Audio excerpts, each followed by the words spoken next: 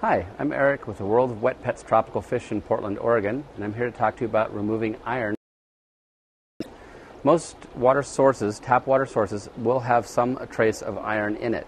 Uh, so it's a good idea to use something like the iron test kits to find out exactly how much we're dealing with. In most situations, we can use a water conditioner that will detoxify heavy metals such as iron.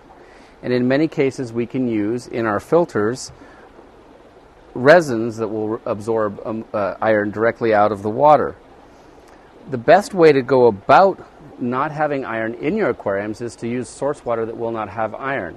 And that can be done with things like the tap water filters, deionization filters, or in many cases, RO filters. So if your source water is going through an, a reverse osmosis unit, you generally will have very, very low to no iron in it. And that's the best source water you can use